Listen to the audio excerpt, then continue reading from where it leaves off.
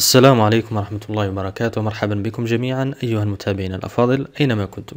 ها قد عدنا إليكم في فيديو جديد موجه لتلاميذ السنة الرابعة متوسط مع اقتراب امتحان الشهادة واختبارات الفصل الثالث.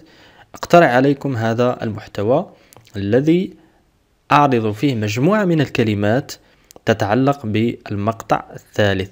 le projet 3 c'est pour les quatrième année projet 3 كما فعلت سابقا في المقطع الثاني سودير لو بروجي 2 كلمات مهمة جدا تساعدكم في فهم النصوص وفي كتابة الوضعيات الإدماجية donc suivez tout d'abord le thème de la euh, ou plutôt du troisième projet c'est la protection de l'environnement يعني حماية البيئة وكل ما يتعلق بهذا الموضوع من مثلا أخطار التي تهدد البيئة تصحر الانجراف التربة مثلا آه، تبذير الماء etc حث الناس على حماية الأشجار مثلا حماية الغابات وغير ذلك. بون y a des noms et des verbes. يعني أسماء وأفعال.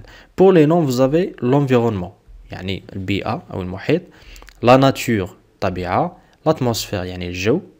la protection الحماية la préservation نفس المعنى la biodiversité biodiversité يعني التنوع الموجود في البيئة la sensibilisation يعني التحسيس la désertification ça vient du mot désert يعني التصحر une espèce نوع une espèce animale par exemple la pollution التلوث le gaspillage يعني التبذير gaspillage de l'eau par exemple pollution de l'atmosphère pollution de la terre pollution de la mer.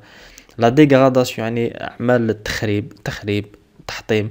La faune et la flore la faune لها علاقة بالحيوانات يعني الحيوانات بصفة عامة. La flore يعني النباتات. حتى لا تختلط عليك هاد هاتان الكلمتان flore تذكر كلمة fleur وبالتالي يعني تذهب يذهب عقلك إلى ما له علاقة بالنباتات. faune c'est pour les animaux faune les animaux flore les plantes et les fleurs la disparition يعني الاختفاء. quant aux verbes vous avez par exemple vivre نعيش sensibiliser يعني توعي تحسس protéger sauvegarder préserver. نفس المعنى تقريبا يعني الحماية تحمي. lutter يعني تجابه تقاوم.